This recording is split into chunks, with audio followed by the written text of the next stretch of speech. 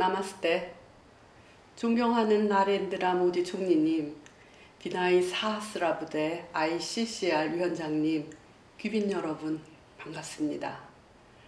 코로나19로 고통받고 계신 모든 분들께 깊은 위로를 전합니다.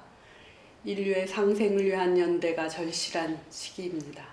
그러기에 간디의 위대한 정신을 기리는 오늘 행사가 더욱 뜻깊습니다.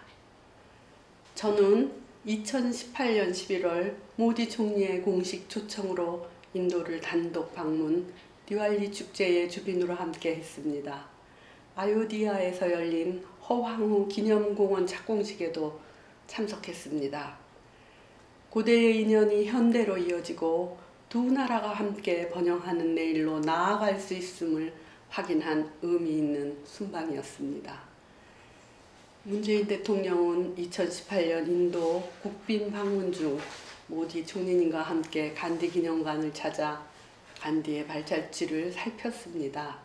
2019년 9월 유엔 총회에서는 간디 탄생 150주년 기념 행사 기조연설을 통해 간디의 비폭력 평화주의를 이야기했습니다.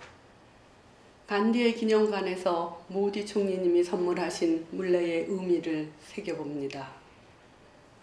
변화를 원한다면 네가 그 변화가 되라 한 간디는 직접 물레 앞에 앉아 시를 자았습니다. 전통 직물인 카디 생산 장려운동과 수아대시 운동으로 인도의 많은 국민들이 일자리를 얻고 경제적인 자립을 이룰 수 있었습니다.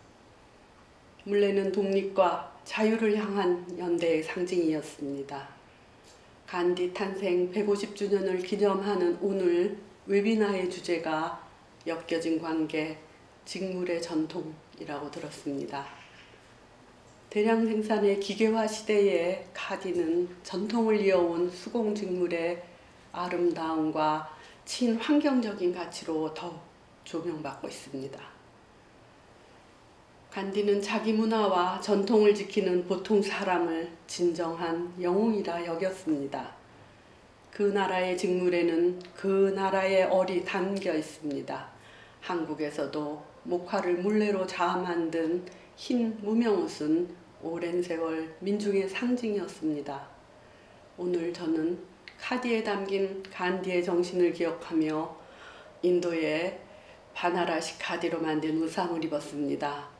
카디의 수많은 문양 가운데 인도의 국화인 연꽃 문양을 보면 디왈리 축제에서 강물에 띄운 연꽃 등이 떠오릅니다. 두 나라의 상생 번영을 기원했던 소망이 꼭 이루어지리라 믿습니다. 수교 47년째를 맞는 한국과 인도는 문재인 정부 들어 양 정상 간의 돈독한 의와 신뢰를 바탕으로 특별 전략적 동반자 관계를 발전시켜 나아가고 있습니다. 최근 코로나19 확산 상황에서 양국의 우호 협력 관계는 더욱 빛을 발하고 있습니다.